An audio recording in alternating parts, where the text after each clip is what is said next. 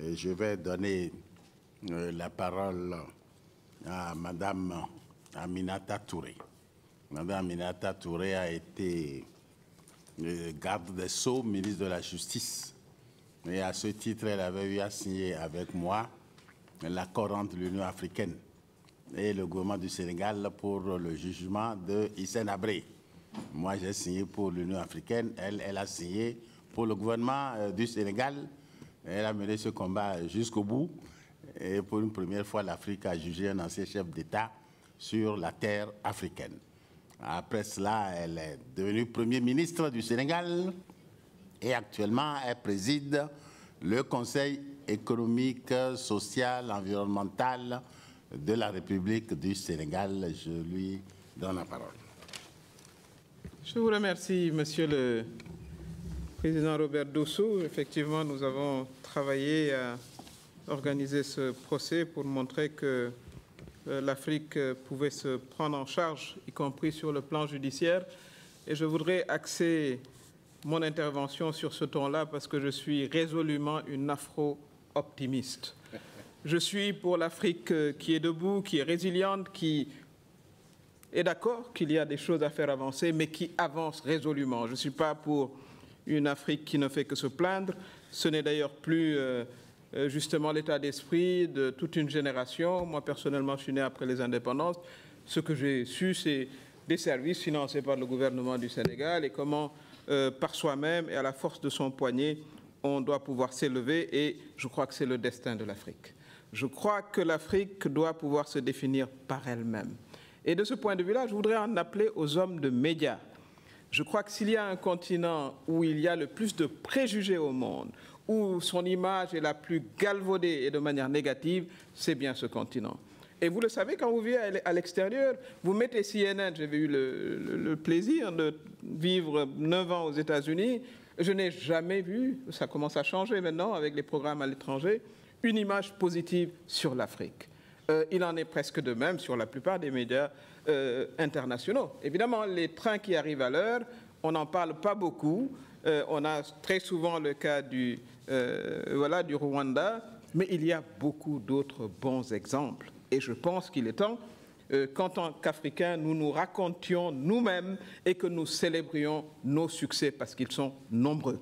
Alors la formule, si on ne fait rien, ça c'est pour taquiner mon ami Senadji, euh, je voudrais qu'on la reverse pour dire si on continue à bien faire et si on fait mieux, c'est parce qu'on a besoin euh, de cultiver euh, cet optimisme, pas de manière béate, mais qui se base sur, disons, des faits concrets. Alors, ces faits concrets, ce sont lesquels? La croissance en 2020, c'est pas moi qui le dis, c'est la Banque africaine de développement, c'est la Banque mondiale, partout sur le continent, sera de 4%, 4,1%. C'est quand même le double de ce qu'on voit en Europe. Et vous avez des pointes euh, jusqu'au Sénégal où nous avons fait du 6,5% en 2019 et nous pensons faire du 7%. En réalité, l'objectif, c'est d'avoir une croissance à deux chiffres et c'est possible. Nous avons aujourd'hui, ça a été dit par le Premier ministre ivoirien, nous allons vers pratiquement 800 euh, millions euh, d'une classe moyenne. Ça veut dire quoi? Ça veut dire qu'on va avoir des consommateurs, ça veut dire qu'on va euh, pouvoir euh, avancer du point de vue euh, de notre économie. Et d'ailleurs, McKinsey nous dit qu'en 2020, il y aura 2,6 trillions de revenus sur le continent. Je pense que c'est pas mal comme production de richesse.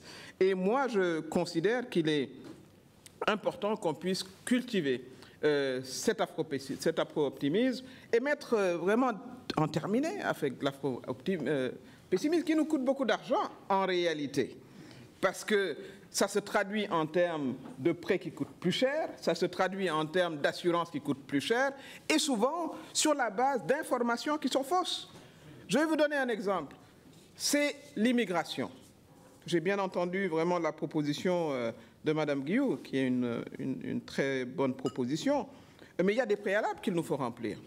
Alors, l'OCDE, qui est quand même un organisme sérieux, ce n'est pas moi qui le dis, nous dit euh, que les Africains constituent que 10,4% des 121 millions de migrants qui vivent dans les pays du Nord. 10,4%. Et pourtant, quand vous mettez votre télé, on a l'impression que l'Afrique va envahir l'Europe parce qu'on a vu 20 jeunes qui se sont échappés d'un voilà, euh, camp de, de retien des immigrés. Et voilà ce que la conscience populaire retient.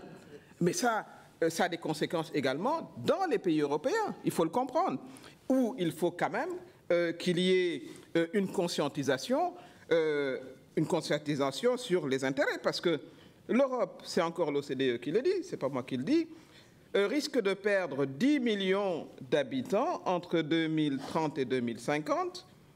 Et ça va, ce qui va se poser, c'est la question de qui va payer les retraites. Euh, quel type de personnel on va pouvoir avoir pour maintenir le niveau de vie, euh, s'occuper d'une population de plus en plus vieillissante, alors que sur le continent, nous allons, en 2030 déjà, vers un million de personnes en âge de travailler. Ce que ça implique, c'est peut-être qu'il faut s'asseoir autour de la table et avoir une discussion euh, honnête et sincère et ne pas s'engager vers ce qui ressemble à une immigration choisie. On vous prend les médecins, les infirmières, les ingénieurs et vous gardez les autres. Ça, ce ne sera pas possible. Donc, si on veut avoir ce, vivre ensemble commun où on trouve des intérêts communs, parce que c'est ça, c'est ce type de discours qu'il nous faut avoir. C'est dommage qu'on ait, disons, cette euh, réunion confidentielle. Je pense que la place de l'Afrique, 54 pays, mérite qu'on en parle en plénière là-bas, hein, pas seulement ici. Hein. Voilà. Donc, ça, c'est une proposition que nous faisons aux organisateurs euh, parce que c'est important euh, aujourd'hui euh, que l'on puisse avoir cet échange entre, entre nous. Mais évidemment qu'il y a des problèmes. Mon ami cher en a parlé, c'est la sécurité. Et cette sécurité, on ne demande pas aux Africains. Les Africains ne demandent pas à être pris en charge. À table, j'en discutais un peu avec le ministre Vétrine. C'est de comprendre qu'on a un destin commun. Alors, imaginons le scénario catastrophe où le verrou du Mali tomberait, le verrou du Burkina Faso, la Libye, vous savez ce que c'est, ah ben, parlant d'invasion, ben, à ce moment-là, euh, on commencera à voir à quoi ça ressemble. Alors, nous avons intérêt, ensemble, à travailler sur la question de la sécurité. Et ça suppose quoi? Le renforcement de nos mécanismes internationaux de discussion, à commencer par l'ONU, où vous avez quand même un schéma qui est euh, voilà, des plus anciens et qui ne répond absolument plus à la réalité du monde actuel. Il y a combien de BRICS assis au Conseil de sécurité? Euh, l'Afrique, pas de poste permanent. Je veux dire, euh, c'est organisé, il faut le moderniser. Et je parle en présence euh, voilà, d'une grande personnalité du système des Nations Unies qui représente le secrétaire général en Afrique de l'Ouest. Ça, c'est des questions qu'il nous faut aborder ensemble. parce que si on a un devenir commun, parce que quand même on a un modèle démographique où on va dépendre les uns des autres, quoi qu'on dise. Bon, vous avez le modèle japonais qui considère que, bon, ma population vieillit et décroît, mais on arrive euh, avec l'utilisation de plus en plus de robots à nous maintenir, mais on sait que ce n'est pas soutenable sur le long terme. Il va falloir à un moment euh, que l'on s'asseye et que l'on discute. Évidemment, il nous faut euh, prendre les problèmes en charge. La question de la corruption, c'est une question qui se pose, mais qui se pose pour le monde entier. Voilà un autre stéréotype dont nous souffrons depuis longtemps, l'Afrique, terre de la corruption. Mais les plus grands scandales de corruption, ce n'est pas en Afrique. Hein. Aaron, Exxon, etc. et les autres.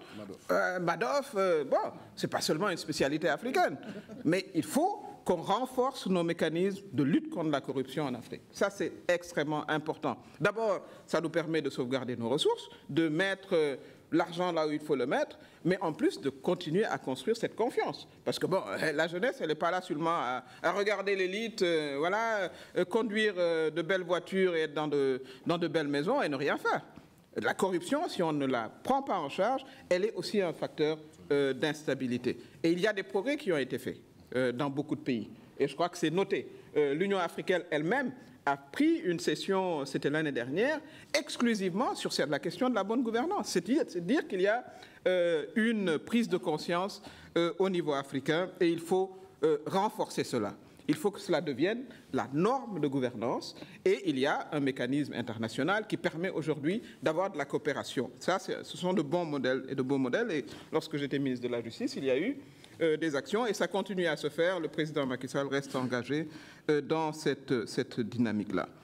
Il y a également euh, de plus en plus dans les pays, et je crois que ça a été dit ce matin, la volonté de prendre en charge notre propre devenir, comment on veut planifier notre développement? Et ça, je sais, c'est heureux de voir que la Banque mondiale et le FMI ont évolué beaucoup hein, dans leur culture de partenariat. Moi, je suis en, en 1980, j'étais au lycée. Je passais le bac et je me rappelle de cette décision catastrophique qui a été prise. Sous prétexte qu'il fallait restructurer nos économies, on a supprimé tous les lycées, euh, tous les internats dans les lycées, parce qu'on considérait que c'était beaucoup d'argent, mais ça a entraîné une chute du niveau de scolarisation des filles au niveau du secondaire. Parce que quand vous êtes dans un village, euh, vous devez aller dans le lycée de la ville d'à côté. S'il n'y a pas d'internat, ben, on vous marie parce qu'il n'y a pas d'autre alternative. Voilà le type de conséquences euh, voilà, que nous avons vécu sur le long terme. Et c'est heureux que justement, euh, maintenant, c'est une autre vision, c'est des choses différentes. Et ça se traduit au Sénégal par le plan Sénégal émergent, qui est un plan qui va aller de 2013 à 2035. Et ce que moi je salue ici, c'est qu'il va euh, transcender la présence du président qui, qui, a travaillé là-dessus. En 2035, il ne sera, il sera plus là. Et ce qu'il nous faut, je crois que ça a été dit tout à l'heure par le docteur Impelé, c'est d'avoir une vision partagée euh, voilà, d'un développement sur le court, moyen et le long terme. Mais ce qui nous permet de faire cela, c'est des institutions solides. C'est un consensus national euh, solide sur comment on organise nos élections, euh, sur comment on organise la participation des femmes et des jeunes. Et je voudrais peut-être terminer sur ce point-là. Lorsque je parle des femmes, on en fait une affaire souvent euh, soft. Voilà, toutes ces femmes qui veulent être là. Mais c'est une question économique importante et grave. J'en profite pour dire qu'il y a un peu cette, cette tendance internationale, mais je pense, j'espère que ce sont parfois juste des glissements de mots, où on prendrait les femmes africaines pour responsables de, beaucoup de choses, alors qu'elles sont, aujourd'hui, elles produisent 70% de l'alimentation africaine et produisent par les femmes. Aujourd'hui, on les retrouve dans tous les secteurs, malgré tous les handicaps qu'elles ont, les handicaps euh, culturels, sociaux, etc. Elles ont besoin euh, d'un soutien euh, de leur État et d'un soutien, disons, de leur société. Et il y a des progrès. Euh, il y a le cas du, Rwanda qui est connu, 52%, je pense, Madame le ministre, euh, de femmes au Parlement. Mais au Sénégal, nous sommes quand même 47. En France, je crois qu'elles sont beaucoup moins. et, aux États-Unis également, où on est de l'ordre de 16%. C'est vous dire que l'Afrique avance l'Afrique avance malgré ces difficultés qu'on reconnaît, parce que je ne suis pas dans une situation de déniement, qu'on reconnaît, mais on ne reconnaît pas assez tous les progrès importants qui ont été faits, les conquêtes, euh, les combats menés, et c'est justement en prenant en charge notre propre histoire, en communiquant nous-mêmes euh, sur ce que nous faisons en relation avec les partenaires que nous avons, qui sont d'excellents partenaires, parfois de moins bons partenaires, il faut le dire également, nous allons avancer ensemble et nous allons porter notre Afrique encore plus haut. Je vous remercie.